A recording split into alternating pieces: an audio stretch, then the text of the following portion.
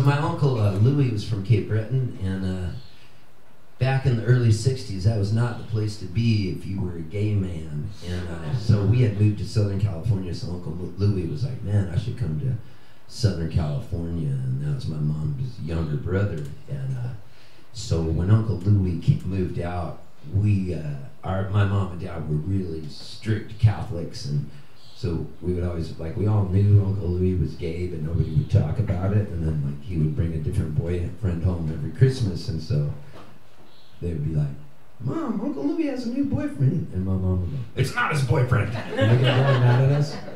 So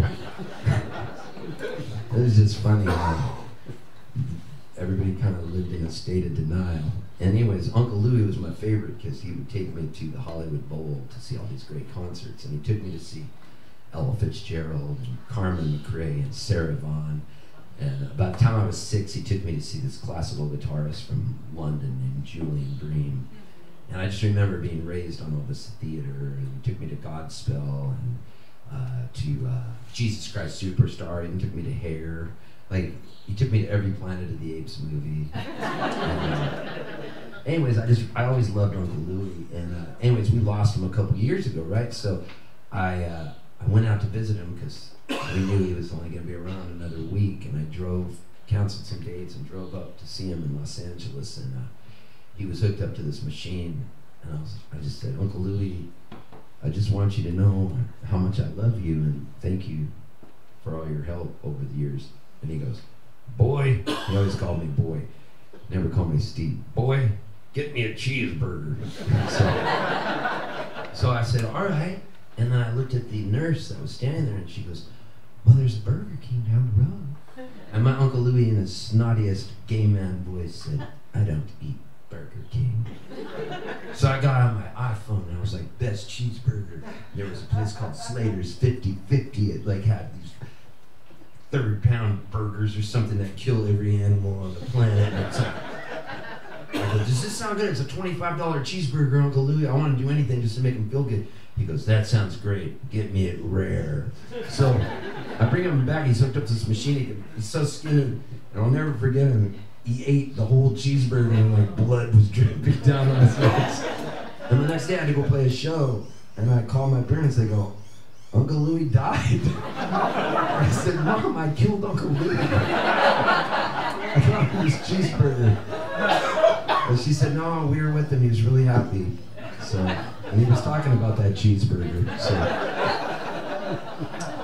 I thought that was kind of funny. Um, but I gotta tell you, man, he turned me on to so much music, and it was just a beautiful thing. You guys would have really liked Uncle Louis because uh, he was just a soulful guy. And I don't use the word genius a lot, but Uncle Louis was a genius, and he could play anything on piano. He was so musical, and he knew everything. He was so well spoken. He read everything. Whatever you wanted to ask him, any type of current events, anything, he was up on up on it all.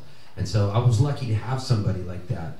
And so I often feel sorry for people that don't have a gay Uncle Louis. You know, when I meet them, I like maybe they weren't exposed enough to the arts, and maybe that's the problem with a lot of the hate in the world. More people need a gay Uncle Louis that takes them to see Ella Fitzgerald and all this great stuff. So I remember when he took me to see Julian Bream, I was there and I just went, Uncle Louis, I, I, I used to stutter back then. I go, I, I, I really want to learn the third song Julian Bream played.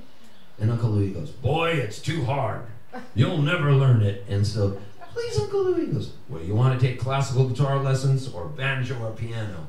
Classical guitar, Uncle So our first classical guitar teacher came over to the house, and I'll never forget, he knocked on the door. And I go and I answer the door, but I was too scared to answer it, so I stood behind my dad's legs. And the teacher came in, and it was 1966. And he walked in, and the first thing I remember is I was just up to his pant legs. He smelled like mothballs. And he came limping in. He said, Sorry, I have a wooden leg. I lost my leg in World War II. And then he sat down. And then the second thing he did when he sat down is he had a glass eye. And and he popped it out and asked me if I wanted to hold it. This was my guitar lesson, the first lesson. But I was too scared to hold his eye. And I'm really bummed about that because I feel like I would have had a better vision on the world, like later in life. I never held the eye. And then he popped it back in. And he was like this really horny old man who wanted with my mom, which I found out later. I was like, why did he quit coming to the house? and my mom ended up trading him in for this blonde named Cindy Lamb, who I had a crush on. But I'll never forget that first teacher because he was an interesting dude, and I wanted to learn to play Elvis Presley songs because I loved Elvis Presley, right? And we had an old guitar in the attic that had three strings on it, and I would run around banging on it like I was Elvis Presley, singing at the top of my lungs. And the first thing the teacher did when he came in, he sat down, he pulled the Mel Bay Guitar Method book out of his weathered leather briefcase. And he took his wrinkly old hands and he restrung the guitar and showed me how to string a guitar. And then he said, We're going to learn how to play Down in the Valley.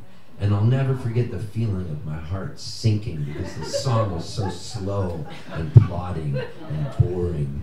But I learned how to play Down in the Valley and I practiced really hard.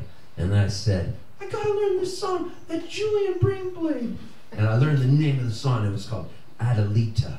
I wanted to learn it to show my Uncle Louie. And that's what I realized about myself. Whenever somebody's told me I couldn't do something, it's really made me gear up and buckle down, and I will do anything to prove them wrong, even to my own detriment. And so I learned this song by the time I was nine, and then I forgot I knew it. And then recently I remembered it after Louis died. I remembered that I'd learned it, and I went, whoa. Maybe there are angels out there floating around, and Uncle Louis kind of slowly sprinkled some sort of angel stuff in my head, you know, and it made me remember it. Because out of the blue, I remembered the song, and this is the song that I learned when I was nine. So this goes out to Uncle Louie.